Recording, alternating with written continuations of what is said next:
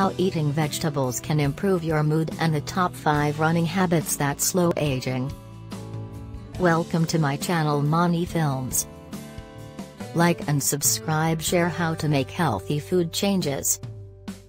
Indeed, truly, expanding your admission of greens every day can really have an effect on your emotional well-being, and by eating only over two servings day to day you might see a massive change in your general bliss, more on that exploration in a moment.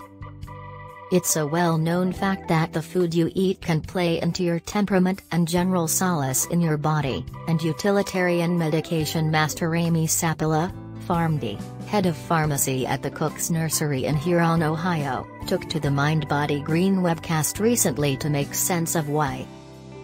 What your eating routine can mean for your temperament.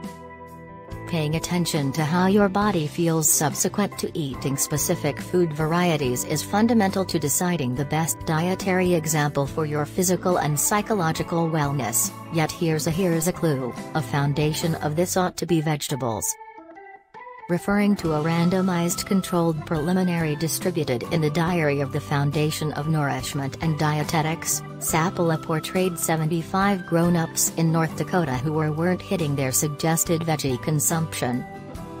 The mediation bunch ate over two servings of veggies, in addition to vegetables, avocados, and other supplement-thick plants, each day. These individuals weren't eating 10 or 20 cups of vegetables daily, one fascinating place of note with regards to this study is that more than 2 cups is as yet not an outstandingly enormous measure of vegetables, particularly according to what driving medical services specialists suggest. Indeed, mixed greens and simmered vegetables are generally a choice while hoping to beef up your eating regimen, yet all at once are trick of the trade? Eating your vegetables truly can make you more joyful, and whether you're like them air broiled, bubbled, or as a useful nourishment greens powder, one way or the other your body will much obliged. The main five running propensities that sluggish aging running is an astounding activity to incorporate into your daily schedule.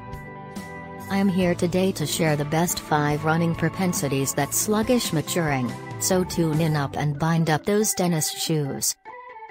Assuming you're hoping to dial back the maturing system and work on your general well-being, I suggest that you integrate running into your wellness schedule. The following are 5 running propensities that sluggish maturing to consider. You can make a vigorous space, improve your mitochondrial capability and resting pulse, and furthermore bring down your circulatory strain. Zone 2 preparation is between 60 to 70% of your maximum pulse, and remaining in that range the whole time during your runs is significant. Assuming that you're hoping to work on your well-being and dial back maturing, I suggest getting going with a few Zone 2 meetings each week for 30 to 45 minutes. Related, the best wellness propensities that sluggish maturing, mentor uncovers. Stretch runs are an incredible method for consuming more fat and furthermore work on your anaerobic perseverance and mitochondrial capability.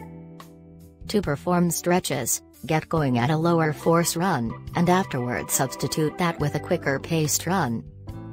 A decent stretch regardless comprises of a 60 second run, trailed by a 15 to 20 second quicker pace related, the best cardio activities to lose instinctive fat and slow maturing, coach says. 3. Run with directional changes if you need to dial back maturing and work on your coordination, knee, and foot well-being. It's smart to play out a couple of drills where you're taking a different path.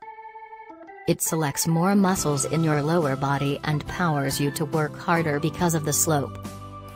You'll begin at the base, and run uphill as quick as possible until you arrive at the exceptionally top. Furthermore, assuming you're running routinely, it's essential to observe the number of miles that you're placing in and at what power every week.